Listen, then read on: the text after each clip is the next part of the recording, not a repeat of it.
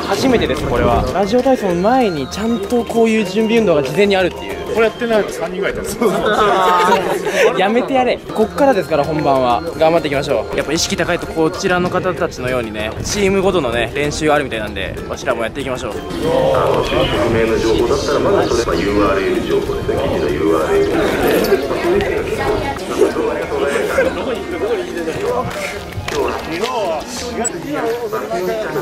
後ろ背中を伸ばす感じでしょ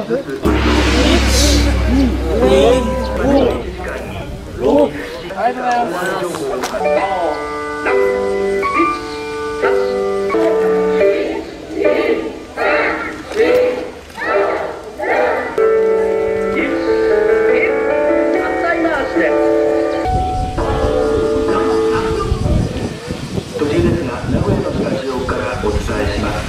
岐阜地方気象台は先ほど午前6時36分岐阜県の下呂市と